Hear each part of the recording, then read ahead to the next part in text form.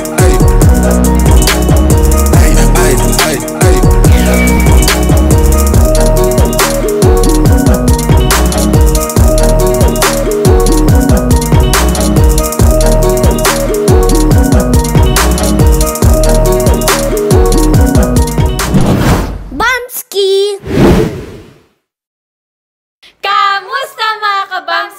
Welcome na naman po sa aming panibagong vlog ngayon.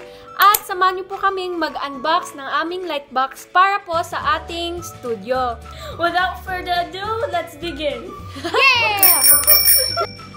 Okay, so ito mga kabamski, kailangan na kailangan po nating i-disinfect or sanitize po yung package natin para iwas COVID-19. Pero syempre mga kabamski, kahit wala pong COVID-19, kailangan po nating i-disinfect or sanitize yung mga gamit na binibili natin sa labas or orders or package, ganun po. Para safe pa rin at malinis. Dahil marami pong bacteria or germs sa labas mga kabamski. And now, bubuksan na po natin ang package. Ia-unbox na po natin mga kabamski para mai-set up natin yung light box.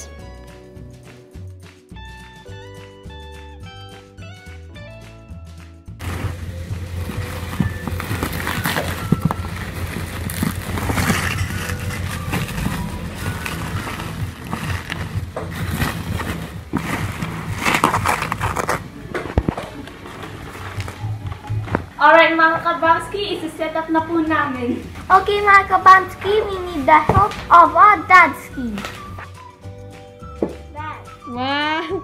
Mas natataasan siya mga kabamski.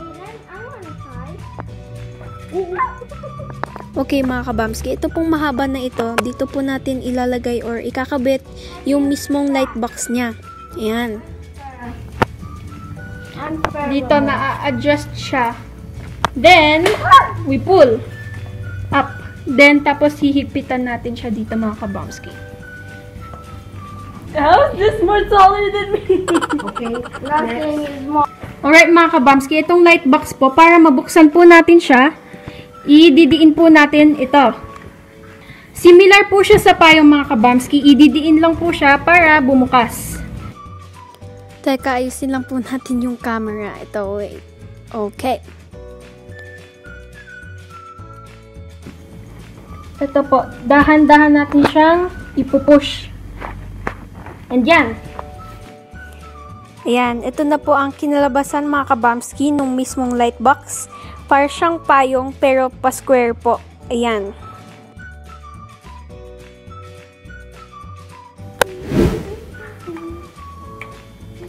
Alright mga kabamski, ang sunod po natin gagawin is ikakabit natin itong light box sa tripod niya. Yan. At para po mahigpit siya, hindi siya mahuhulog, hihigpitan po natin tong knot niya. Yan, ito. Next.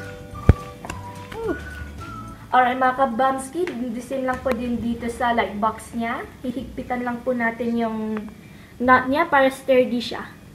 Mga kabamski, ang pinaka-importante po dito sa ating light box is yung light bulb. So, since napaka bright po nito, nakakasilaw, lalagyan po natin siya nitong tela. Para hindi po siya gaanong nakakasilaw mga kabamski. So, simple lang po siyang ikabit. Isasabit lang po siya natin dito. Isasabit lang po natin siya. At may velcro po yan mga kabamski. Ito. Para mas dumikit po siya ng maayos. Look.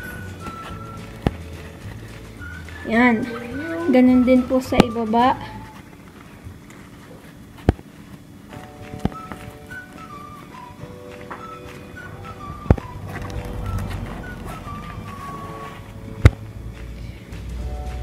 And kung ayaw nyo pong lukot-lukot yung tela nyo mga kabamski, pwede nyo rin po siyang i-planchahin.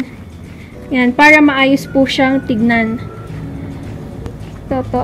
Alright mga kabamski, ito po ang aming studio kapag wala pong light box. Ngayon, titignan po natin kung ano ang itsura ng aming studio kapag may light box. Yan. medyo mas malinaw po mga kabamski. Ayan.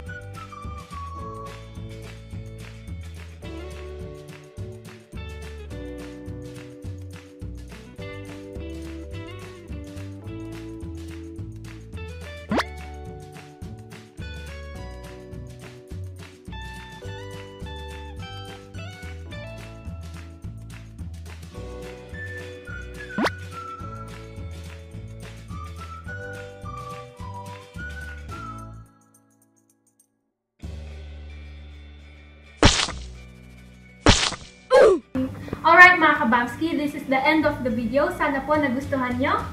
If you want to purchase the same light box, you may check the link in the description below. Yes.